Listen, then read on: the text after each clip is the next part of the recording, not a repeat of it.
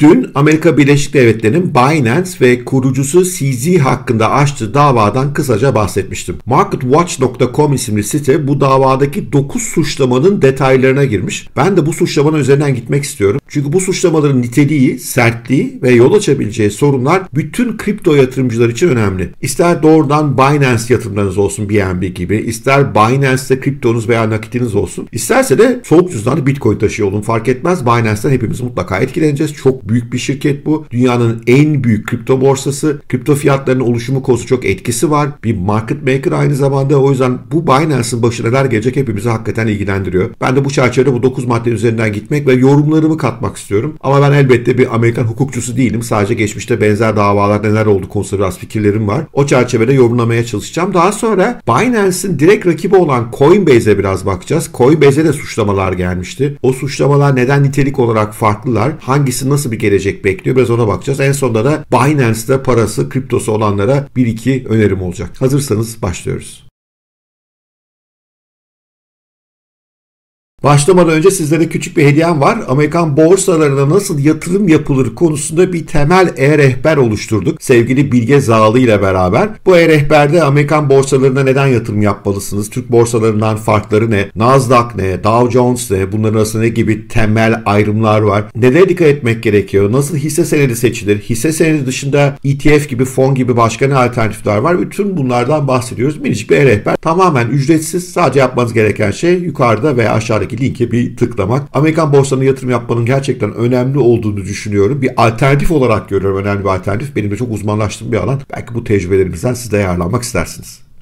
Şimdi dönelim Binance'e ve 9 suçlamaya. MarketWatch.com bu konuda çok iyi bir iş yapmış. Bu 9 suçlamayı maddeleştirmiş. Biz de onun üzerine gideceğiz. Bu arada belki merak edenler vardır yani Bora Hoca neleri takip ediyor diye. Şu anda ekranda 4 tane sürekli açık olan web sitem var. Bir tanesi Barron's Financial and Investment News. Diğeri The Wall Street Journal. Bir diğeri MarketWatch şu anda üzerine gidecek olduğumuz. Bir de Seeking Alpha. Yakında bu Seeking Alpha ile ilgili size bir müjdem de olacak bu arada. Siz de ondan istifade edebileceksiniz oldukça indirimli fiyatlarla. Evet Evet ne diyor Market Watch, CZ ve Binance'e gibi suçlamalar gelmiş. Birinci madde çok eğlenceli bir madde. CZ nereye giderse Binance de oraya gider diyor. Yani Binance'in bir genel müdürlüğü, bir merkezi yok. Hangi ülkede olduğunu bile anlayamıyoruz. O gün CZ neredeyse orası Binance oluyor. Bu konuda CZ'in de geçmişte bir açıklaması vardı. Soruyorlar sizin genel müdürlük nerede abi hayrola diyorlar. O da diyor ki ben neredeysem orada. Eski anlamda, klasik anlamda genel müdürlüklere ihtiyaç yok. Dijital dünyada buna ihtiyaç yok diyor. Bunu tabii benim gibi dijital dünyayı sevenler Bizimkiler gülümseyerek karşılıyorlar. Bu yönü hoş ama arkasında bunun biraz da bir karanlık gerekçe var. CZ'nin Binance Holding şirketinin yapısını çözmek çok zor. Hangi ülkenin yasalarına tabi onu bile anlamakta zorlanıyoruz. Bazı arkadaşlar dün yorumlarda serzenişte bulunmuşlar. Hocam Amerika'nın bile bulamadığı adama biz niye güvenip paramızı bırakıyoruz, emanet ediyoruz? Valla bilmiyorum. Ben emanet etmiyorum. Bazen trade yapıyorum orada sonra hemen çıkıyorum. İkinci suçlama ne olursanız olun Amerikalı olduğunuzu söylemeyin. Binance Amerika'dan işlem yapan müşterilerine böyle söylüyormuş. Unutmayın Binance'in iki şirketi var. Birisi Binance US bir de Binance Global. Biz Türkler Binance Global'i kullanıyoruz. Binance US Amerika'daki Binance ve onun üzerindeki varlıklar ve opsiyonlar oldukça kısıtlı. Orada regülasyona uyuyorlar. Ama pek çok Amerikalı tabii onunla getirmiyor. Binance uluslararası da işlem yapmaya çalışıyor. Binance müşteri temsilcileri işte bu Amerikalılar diyorlar ki sakın Amerikalı olduğunuzu belirtmeyin. Bunun için Amerikalı müşterilerine VPN kullanmaya yani Virtual Private Network hani biz de bazen kullanıyoruz ya Twitter yasak hakları falan geldiğinde onları kullanmayı öneriyorlar ve aynı zamanda Amerikan devletinin mecbur kıldığı kimlik tanıma işlemlerinde pas geçiyorlar. İkinci suçlama bu. Bu ikinci suçlama biraz ağır bir suçlama çünkü buradan kara para aklamaya gidilebilir. Terörün finansmanına gidilebilir. Amerikan vatandaşlarının vergi kaçırması gibi konulara gidilebilir. Burasını biraz sert buldum. Üçüncü madde çok tatlı. What regulations? Hangi regülasyonlar? Burada diyor ki bu şirket Amerika'da kayıtlı değil. Amerika'nın hiçbir kuralına uymuyor ama Amerikalılar üzerine işlem yapabiliyorlar. Bizim regülasyonumuzu hiç ciddiye almıyor. Burada biraz bozulmuş Amerikalılar CZ'ye. Bu da önemli tabii ama bu sanki para cezasıyla atlatılabilir bir konu gibi geliyor bana. Yani Binance gider der ki tamam ben regülasyon tabi olmak istiyorum. Ne yapmamız gerekiyor? Bu regülasyon tabi olmadığım dönemde yarattığım zararlar varsa bunları bir kısmı ödemeye hazırım. Buradan çok sert bir şey çıkmaz. Sorun şu tam Amerika'nın regülasyonlarına uygun bir Binance bugünkü Binance'e benzemez. Buradan da Binance küçülür aslında. Üçüncü maddeyi de böyle okuyorum. Dördüncü madde biraz sert bir madde. You might want to watch your back. Şimdi burada Özellikle VIP müşterilerle Binance arasında özel bir ilişki olduğundan bahsediliyor. Eğer bu müşterilerin hesaplarıyla ilgili Amerika Birleşik Devletleri'nden bir soruşturma gelirse, bir dondurma gibi bir işlem gelecekse Binance'ın bunu müşterilere önceden haber verip paralarını çekmelerini sağladığı iddia ediliyor. Bu tabii tehlikeli. Bu çünkü Amerika Birleşik Devletleri'nin kanun uygulayıcısına engelleme anlamına gelir. Suçlularla işbirliği anlamına gelir. Buradan cezai dava çıkabilir. 4 numaralı maddeyi ben biraz sert buldum. 5 numaralı madde yine çok ağır bir suçlama. Don't mind the man behind the curtain. Perdenin arkasında kim var siz ona bakmayın gibi böyle bir Türkçe çevirecek olursak ama söylemeye çalıştığı şey şu. 300'ün üzerinde Binance'in kendisinin yönettiği hesap üzerinden ticari işlem yapılıyordu. Bu sayede fiyatlar belki manipüle ediliyordu. Yine bu ağır bir suçlama. Çünkü burada doğrudan doğruya fiyat manipülasyon suçlaması var. Mesela Coinbase'de hiç olmayan bir suçlama. Bunu da çok çok sert buldum. Bununla ilgili olarak cezai dava gelebilir. Özellikle de eğer bu hesaplar doğrudan CZ ile ilgili ise ki onunla ilgili bir madde var. Yani CZ'nin haberi olmadan Binance'de kuş uçmuyor ile ilgili bir madde var. Biraz sonra geleceğiz. E, bu madde doğruysa buradan yine cezai suçlama gelebilir. Altıncı maddede Binance ve CZ'yi delilleri saklamayla suçluyorlar. Who needs records? Kimin kayıtlara ihtiyacı var diye. Binance yöneticilerinin kendi aralarında WeChat, Telegram ve Signal gibi aplikasyonları kullandıklarını ve bu aplikasyonlardaki bütün haberleşmelerin bir süre sonra silindiğini, böylece geriye kayıt bırakılmadığını iddia ediyorlar. Burada tabii çok ilginç bir detay var. Amerika Birleşik Devletleri bu kadar delile, veriye nereden ulaştı derseniz çok büyük ihtimalle CZ'nin telefona sızmışlar ve özellikle Signal üzerinden yaptığı haberleşmeleri deşifre etmişler. Çünkü suçlamalarda CZ ile diğer yöneticiler arasındaki bazı iletişimler var. Onlar delil olarak sunuluyor. Bu da işin bir başka önemli boyutu. Burada tabii suçlamanın sebebini anlayamıyorum. İstediğin yerden haberleşebilirsin sonuçta. Buradan pek bir şey çıkacağını düşünmem. Fakat ileride bir mahkemeye gidildiğinde CZ'nin niyetinin kötü olduğu, yöneticilerin niyetinin kötü olduğu yönünde ciddi bir işaret. Yedinci maddenin ismi A Maze of Companies yani bir şirketler labirenti. Burada Binance'ın sahiplik yapısının aşırı karmaşık olduğu bir sürü ülkelere yayıldı. Bu ülkelerdeki farklı şirketlerin birbirinin farklı oranlarda sahibi olduğu. Bundan dolayı da üzerine gitmenin zor olduğundan bahsediliyor. Bu aslında aynı zamanda davanın uzayacağını da söylüyor bize. Hangi ülkede kime dava açacaklar vesaire. Ve evet Amerika Birleşik Devletleri işte FBI ile Interpol ile bu işin üstüne yürüyünce sonuç alır ama çok kolay olmayacak gibi gözüküyor. Çünkü her bir ülkede o ülke bürokratlarıyla konuşması lazım. Veri toplanması gerekiyor. Bu ülkelerin bir kısmı Amerika'dan hoşlanmıyor olabilirler. Bu ülkelerin bir kısmında bazı bürokratların Binance'la başka türlü ilişkileri olabilir. Burada bir kanıt toplama sıkıntısı olacağı belli ve bundan da şikayetçiler. Bundan şikayetçi olmakta da haklılar tabii. Yani sizler de yatırım yaptığınız bir şirketin sahibi nerede, yönetimi nerede bunu bilmek istersiniz. Bu belki kriptonun genel mantığına biraz aykırı gibi gözüküyor ama bu kripto değil ki. Bu kripto ticareti yaptığımız bir şirket. Bu şirket merkezi bir yapı. Merkezi yapıların hesap verebilir olması gerekiyor. Hesap verebilir olması için de en başta bir yerinin, yurdunun belli olmasına büyük fayda var herhalde. Sekizinci madde oldukça eğlenceli. Everything comes from the top. Her şey en tepeden geliyor. Burada CZ'nin bütün şirketi ne kadar mikro yönettiğini, her detayın içinde olduğunu anlatıyorlar. 60 dolarlık bir ofis mobilyası satın almasının bile onun onayına tabi olduğunu söylüyorlar. Bu bence suçlamalarda CZ'nin üzerine gitmek için kullandıkları bir taktik. Yani ileride CZ çıkıp derse ki benim haberim yoktu. Biliyorsunuz Sam Bankman-Fried öyle demişti. Benim Alameda Research'ta yapılanlardan haberim yok vermişti eski kız arkadaşına kurtların önüne atıp. Burada da buna engel olmaya çalışıyorlar anladığım kadarıyla ve diyorlar ki her şey CZ'den geçiyordu. Böyle enteresan ileride davayı kuvvetlendirecek bir meseleye benziyor bu. Ve 9. maddede de there is a whale in the room. Odada bir balina var. Amerika Birleşik Devletleri'nde Chicago'daki bir şirketin Binance üzerine yürütülen işlemlerin %12'sini tek başına yaptığını söylüyorlar. Bu şirketin kim olduğu hakkında bir bilgi yok ve Amerika'ya bağlı olmayan IP adresleri kullandığı söyleniyor. Bu da bir başka enteresan suçlama. Bu şirket belki de doğrudan doğruya CZ'nin kendi şirketidir. Evet Market Watch'ın gördüğü 9 madde bunlar. Bunlar ağır suçlamalar arkadaşlar. Bu ağır suçlamanın arkasında ne kadar delil var onu tam anlayamadım. Çünkü görebildiğim kadarıyla Signal üzerindeki bazı yazışmaları sadece yakalayabilmişler. Bunun dışındakiler yani farklı ülkelere dağılmış. Buradan bir suçlama yapamazsınız. Sadece Amerika'da işlem yapması engel olabilirsiniz. Veya CZ'nin bütün işlemlerin detayına bakıyor olması buradan da suçlamaya gidilemez. E, yöneticilerin kendi aralarındaki iletişim şekilleri yine kimseyi ilgilendirmez. Buradaki en ağır suçlamalar Amerikan vatandaşlarının burada gizlice işlem yapmasına izin vermeleri, bu vatandaşların kimlik bilgilerini, işlemlerini gizlemeleri, bu vatandaşlara Amerikan regülatörleri tarafından gelecek çeşitli davaları önceden haber vermeleri bunlar çok ağır suçlamalar. Ne çıkar buradan? Valla hukukçu değilim ama öyle kolay bir dava değil. Yani yar gidip Binance'ı falan kapatamazlar. Binance'ın nerede nerede bulacaklarını bile henüz bilmiyorlar ama bundan sonra CZ'nin ve Binance'ın hayatı kesinlikle kolay olmayacaktır. Çin ona belki sahip çıkar. Belki CZ'yi yakında Hong Kong'da görürüz. Çünkü Çin enteresan bir yapılanmaya gitti. Çin ana karada kripto ile ilgili her şeyi yasakladılar neredeyse. Buna karşın Hong Kong'da her şeye izin veriyorlar. Serbest bıraktılar. Böyle ilginç bir yapılanma var. Yani Binance bir anda yok olacak gibi gelmiyor bana. Binance çok uluslararası bir yapı. Her ülkenin ayrı ayrı davalar açması lazım. Bu yıllar sürecek bir süreç. Ama Amerika'da bir yatırımcı olsaydım şu anda korkardım. Ve muhtemelen buradaki mesela o Chicago'lu %12'lik büyük işlem yapan balina gibi yatırımcılar şu anda biraz çekiniyorlardır. Bu da Binance'ı olumsuz etkileyecek ve işlem hacmi düşürecektir diye düşünüyorum. Ama acil bir panik yok gibi bir kısmı para cezasıyla halledecek, bir kısmı sürece bırakılacak davalar bunlar. Ama CZ bundan sonra Amerika'ya giremez. Mutlaka hakkında